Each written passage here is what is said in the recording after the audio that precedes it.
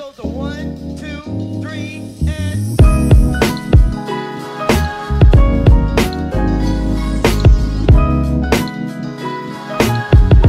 That's us.